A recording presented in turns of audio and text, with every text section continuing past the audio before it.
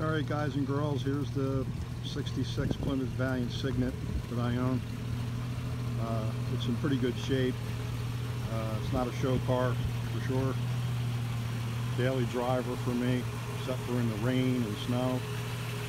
But I drive it all over the place. It's running right now. Uh, it's definitely a cool car and uh, you know that's basically about it you know I mean posted up a bunch of pictures of it um, and uh, this is it you know so. Hope somebody can find a good home for it. And uh, like I said it's a cool car.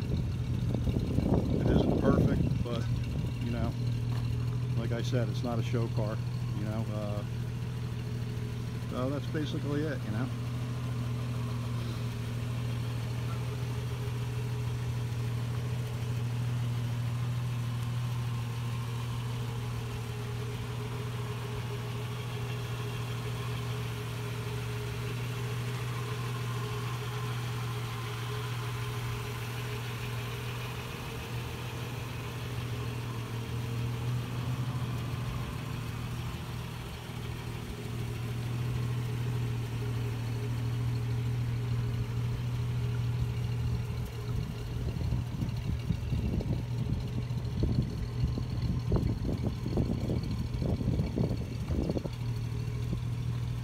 Uh, I hope you enjoyed the video.